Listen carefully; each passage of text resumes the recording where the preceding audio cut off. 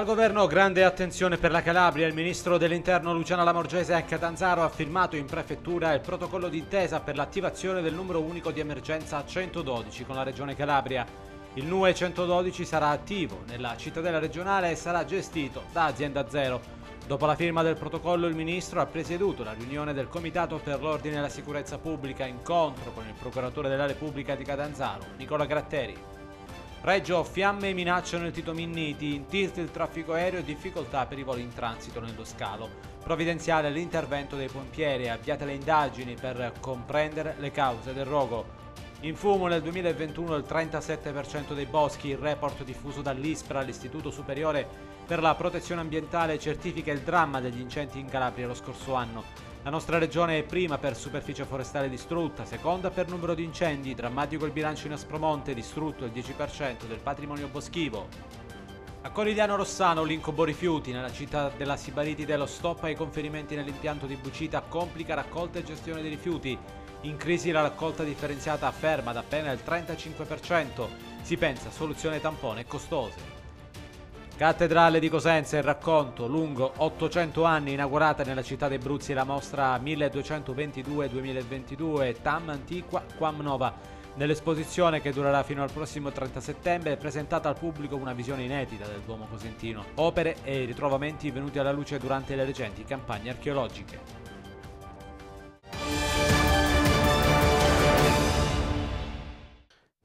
Edizione serale dell'altro Corriere TG, buonasera, ben ritrovati come sempre dalla nostra redazione. Lo avete sentito dai titoli del sommario, apertura che questa sera dedichiamo alla visita in Calabria e questa mattina in prefettura a Catanzaro del ministro dell'interno Luciana Lamorgese che appunto questa mattina nel capoluogo in prefettura ha firmato un protocollo destinato all'attivazione del numero unico di emergenza il Ministro ha poi anche presieduto quello che è il Comitato per l'Ordine e la Sicurezza Pubblica. Sentiamo tutti i dettagli nel primo servizio di questa sera. Un numero unico di emergenza è il NUE 112 che sarà attivato nella cittadella regionale e sarà gestito dall'azienda Zero. A firmare il protocollo e rendere possibile l'iniziativa è giunta stamane a Catanzaro in prefettura il ministro degli interni Luciana Lamorgese che ha sottoscritto il documento con la vicepresidente Giusi Princi in rappresentanza della regione Calabria. L'attivazione della NUE 112 deriva da una direttiva europea ed in Italia mancano all'appello due regioni. Il numero serve a semplificare la vita dei cittadini e consentire interventi immediati in caso di necessità. La ministra dell'Interno Lamorgese ha anche presieduto il Comitato Provinciale per l'Ordine e la Sicurezza Pubblica, al quale ha partecipato per la prima volta il neo sindaco di Catanzaro, Nicola Fiorita. Per il ministro il governo nazionale sta riservando alla Calabria grande attenzione. Oggi abbiamo eh, fatto il Comitato Provinciale Ordine e Sicurezza Pubblica con la presenza del Sindaco che eh, ho ringraziato e a cui ho augurato un mandato positivo perché oggi veramente era il primo giorno sono state affrontate le problematiche del territorio insieme alle forze di polizia, ai procuratori, procuratore generale e procuratore della Repubblica.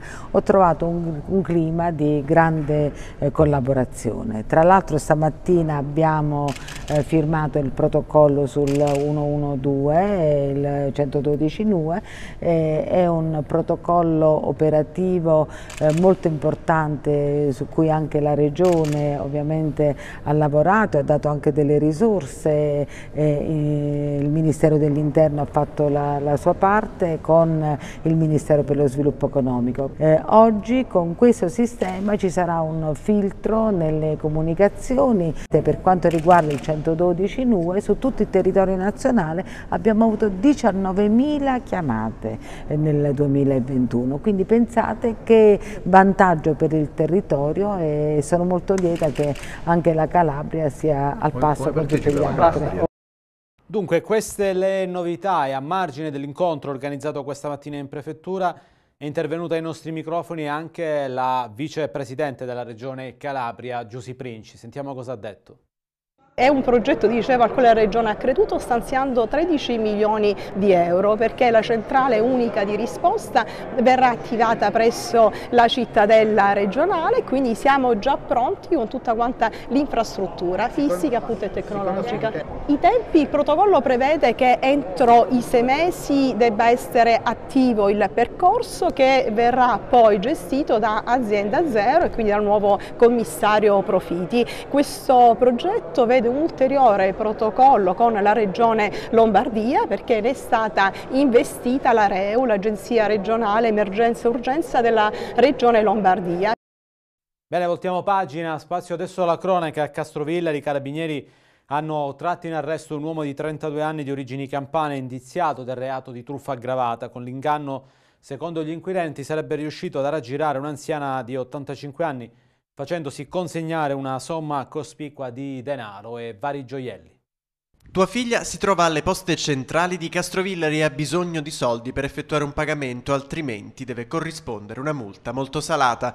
E questo l'inganno con il quale un 31enne è riuscito a raggirare un'anziana signora di 85 anni facendosi consegnare una cospicua somma di denaro e vari gioielli. Al termine di un'indagine coordinata dalla Procura della Repubblica di Castrovillari, i carabinieri insieme ai colleghi di Potenza hanno eseguito un'ordinanza applicativa di custodia cautelare in carcere nei confronti di un 32enne campano Milano, accusato di truffa aggravata e per il quale si sono aperte le porte della casa circondariale di Matera. Tutto è partito dalla denuncia della donna che aveva consegnato quasi 10.000 euro in contanti e vari monili in oro, tra cui le fedi nunziali. Alla vittima del raggiro era stata prospettata la presenza della figlia in un ufficio postale e poi una multa comminata a suo carico. Il trentenne è riuscito con l'aiuto di alcuni complici a farsi consegnare del denaro direttamente dall'anziana raggiunta addirittura nella sua abitazione abitazione. La donna, dopo aver telefonato alla figlia, ha capito di essere stata vittima di una truffa ed ha immediatamente avvisato i carabinieri.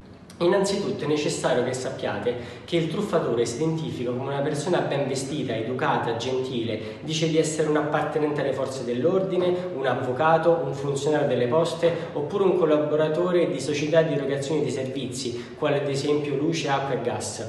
Ecco, nessuna di queste persone vi chiederà mai di riscuotere somme di denaro direttamente presso le vostre abitazioni oppure di ricevere monili o oggetti preziosi. Ci sono altri accorgimenti da tenere a mente, ad esempio non aprite la porta agli sconosciuti e soprattutto non fate rientrare in casa, specie quando siete da soli. Nel caso in cui si presenti un soggetto che non conoscete, fatevi mostrare un tesserino di riconoscimento oppure, in caso di dubbio, chiamate il 112 in modo tale che appartenenti alle forze dell'ordine e forze di polizia in uniforme procederanno all'esatta identificazione del soggetto. Fate attenzione a chi chiede informazioni personali magari mentre state per strada, fate attenzione ai soggetti che chiedono somme di denaro per eventi che hanno interessato i vostri familiari. Mantenete la calma, prendete tempo e in caso di dubbio non esitate, chiamate il 112. E purtroppo c'è anche una drammatica notizia, una tragedia sulle coste della Locride questa mattina Durante uno sbarco avvenuto a Caulonia, il cadavere di un migrante, un uomo di 34 anni, è stato rinvenuto su un'imbarcazione. Il mezzo, con a bordo circa 60 migranti, tutti uomini, si era arenato per poi essere trainato dalla Guardia Costiera nel porto delle Grazie di Roccella Ionica. In corso le indagini per ricostruire la dinamica dell'accaduto e accertare soprattutto le cause del decesso dell'uomo, anche se da una prima ricostruzione sembrerebbe essere avvenuto per cause naturali. Un incendio invece si è sviluppato uh, nelle prime ore del pomeriggio all'interno dell'aeroporto dello Stretto Tito Minniti di Reggio Calabria, lungo le sterpaglie, adiacenti alla pista di volo, creando evidenti difficoltà in fase di atterraggio e decollo per via delle nubi di fumo. Sul posto sono intervenuti subito i mezzi del Vigili del Fuoco che hanno spento uh, l'incendio. Sulle dinamiche dell'accaduto sono in corso eh, le indagini delle forze dell'ordine. E a proposito di incendi, ieri ci eravamo già occupati della presentazione del piano AIB della Regione e delle azioni messe in campo per contrastare l'emergenza incendi. Oggi i numeri del rapporto dell'Istituto Superiore per la Protezione Ambienti riferita al uh, numero degli incendi avvenuti nel 2021, numeri che per la Calabria sono tragici, ricorderete eh, lo scorso anno, la scorsa estate è stata davvero drammatica quando è andata in fumo ben il 10% del patrimonio boschivo dell'intero Parco Nazionale dell'Aspromonte. Appena ieri la presentazione del piano AIB, e cioè l'insieme delle azioni messe in campo dalla Regione per prevenire e contrastare il fenomeno degli incendi, azioni necessarie tenuto conto delle difficili condizioni climatiche ed anche del tragico bilancio dello scorso anno quando la Calabria fu letteralmente devastata dalle fiamme, circostanza quest'ultima resa evidente oggi dai numeri e dai dati diffusi dall'ISPRA. Nel report dell'Istituto Superiore per la Protezione e la Ricerca Ambientale emerge come in Calabria nel 2021 sia andato in fiamme il triplo degli ettari del 2020, con la nostra regione che in assoluto in Italia ha subito maggiori danni per superficie forestale distrutta. In Calabria la superficie totale di boschi interessata da incendi rispetto al totale delle aree andate bruciate è pari al 37%. Roccaforte del Greco nel Regino è tra i comuni più colpiti a livello nazionale con il 57% del territorio comunale bruciato. Dato drammatico poi per l'intero Parco Nazionale dell'Aspromonte con la distruzione del 10% del patrimonio boschivo. Voltiamo pagina, parliamo di buona sanità adesso, andiamo a Crotone dove è stata presentata la nuova TAC tecnologicamente avanzata e soprattutto fondamentale per smaltire le lunghe liste d'attesa con un occhio da parte dell'ASP all'emergenza Covid. Nuova e tecnologicamente avanzata è la acquistata dall'azienda sanitaria provinciale di Crotone, presentata ufficialmente in conferenza stampa e già operativa nelle prossime ore. Un acquisto ritenuto fondamentale per garantire l'assistenza necessaria ai pazienti e smaltire le liste d'attesa in un periodo particolarmente difficile per la sanità a causa soprattutto della pandemia da Covid-19. Una macchina ad altissime prestazioni che garantirà un flusso di esami veloce ed accurato con immagini ad elevato contrasto. È un servizio importante eh, che eh, diciamo, colma anche una carenza. Noi avevamo in dotazione qui una tacca 16 slide per dire è, è un, il primo eh, tipo di TAC che è stato installato nelle strutture sanitarie che era qui dal 2003 quindi sottoposta ad una usura enorme che comportava anche dei costi per quanto riguarda interventi di manutenzione o di riparazione che non erano più sostenibili, per cui questa azienda sanitaria provinciale in attesa che venga attuato il piano di ammodernamento tecnologico ha proceduto autonomamente all'acquisto di questa nuova TAC. Un servizio di eccellenza dunque, ma l'attenzione resta alta sul fronte dell'emergenza coronavirus. Quindi gli ultra ottantenni, ancora ci sono più di 8.000 ultra ottantenni che non hanno eseguito la seconda dose booster. L'azienda sanitaria provinciale è da tempo che è impegnata anche attraverso la chiamata attiva per convincere queste persone a eh, somministrare la quarta dose di vaccino che è fondamentale perché ricordiamoci che il vaccino non, non protegge in maniera totale dall'infezione, ma sicuramente costituisce una barriera per quanto riguarda il rischio di sviluppare forme gravi della malattia a cui potrebbero andare incontro proprio questi soggetti collocati in queste fasce di rischio più elevato. Invece di nuova emergenza rifiuti a Corigliano Rossano, preoccupare il blocco dei conferimenti nell'impianto ed una raccolta differenziata che è ormai ferma da tempo al 35%. Dettagli nel servizio. Un'altra estate da incubo a causa dei rifiuti. E questa la preoccupazione che serpeggia a Corigliano Rossano, dove la ECRO, la società che gestisce l'impianto di Bucita, ha bloccato i conferimenti a causa dell'indisponibilità a stoccare gli scarti della differenziata in altri siti. I cancelli chiusi a Bucita avranno infatti un'unica gravissima conseguenza, la spazzatura per strada con tutti gli effetti collaterali generati dal grande caldo. Ad accusare i problemi maggiori sarà come sempre la città di Corigliano Rossano, che produce oltre 100 tonnellate di rifiuti quotidiani e dà la priorità nei conferimenti a Bucita, dove tra l'altro nei mesi scorsi erano già state ridotte le quantità da stoccare e l'amministrazione Stasi aveva provato a calmierare la crisi esportando i rifiuti nelle discariche di Alli e Lamezia Terme. Palliativo quest'ultimo venuto meno. C'è anche il peso delle difficoltà economiche. La ECRO vanta crediti per 2,3 milioni di euro maturati dal 2021 ad oggi. Ed infine la crisi segnala anche ritardi nella gestione della raccolta differenziata, con Corigliano Rossano che ha una percentuale e livello di raccolta differenziata decrescente ed è attestata ad appena il 35%. Voltiamo decisamente pagina, andiamo a Cosenza per una mostra che celebra e racconta una storia straordinaria, quella della cattedrale, una storia pensata lunga ben 800 anni. L'ex Museo delle Arti e dei Mestieri di Cosenza apre al pubblico la mostra 1222-2022 Tam Antiqua Quam Nova. La cattedrale si racconta. Non si tratta di una semplice narrazione di fatti che si dipanano cronologicamente, ma piuttosto di una storia d'episodi in cui sono gli stessi oggetti a suggerire la trama degli eventi, gli accadimenti, i contesti. L'esposizione, strutturata in sezioni tematiche, si articola in un percorso lineare cronologico che documenta la stratificazione del monumento nel corso del tempo. Tam antiqua quam nova è una formula di rito che compare spesso nelle fonti archivistiche in cui, tra le pagine degli antichi manoscritti, i due termini si trovano associati per lo più alla descrizione della Ecclesia Cathedralis, libro di pietra ma anche cuore pulsante della religiosità collettiva e perno dell'identità cittadina. La mostra riunisce i differenti elementi superstiti di questa storia plurisecolare e ricompone i frammenti frammenti in un unico percorso. Un monumento che dagli ultimi studi risulta essere sostanzialmente uno dei più importanti edifici di culto del primo 200 dell'Italia meridionale e quindi europeo.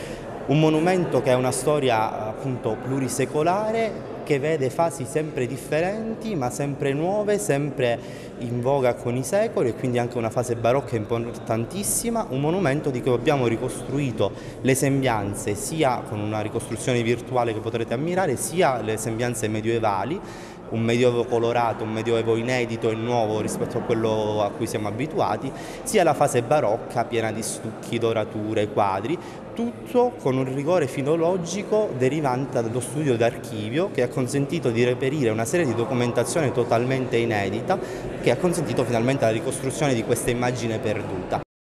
In chiusura la musica, dopo la fortunata parentesi di Sanremo, il cantautore napoletano Giovanni Truppi è ripartito con il tour live in giro per l'Italia. Il 9 luglio si esibirà eh, all'Aghia Sofia Fest in due in programma all'Abbazia di Corazzo a Carlopoli. Sentiamo.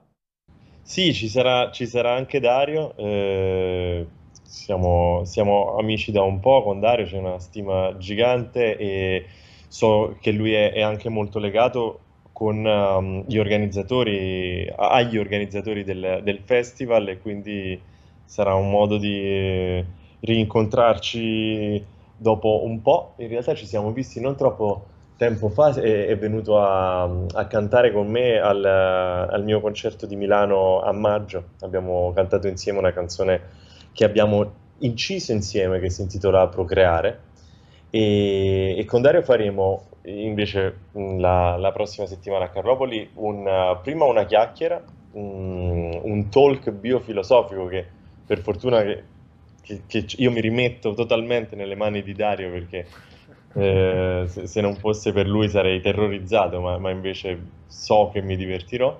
E, e, poi faremo sicuramente qualcosa insieme nel, nel corso del, del concerto. Bene, con la musica di Giovanni Truppi si conclude l'edizione di questa sera del nostro OTG. Come sempre grazie per l'attenzione. Vi ricordo comunque le edizioni nel corso della serata, le prossime edizioni del nostro OTG e vi invito ovviamente a restare sintonizzati sull'altro Corriere TV. Una buona serata.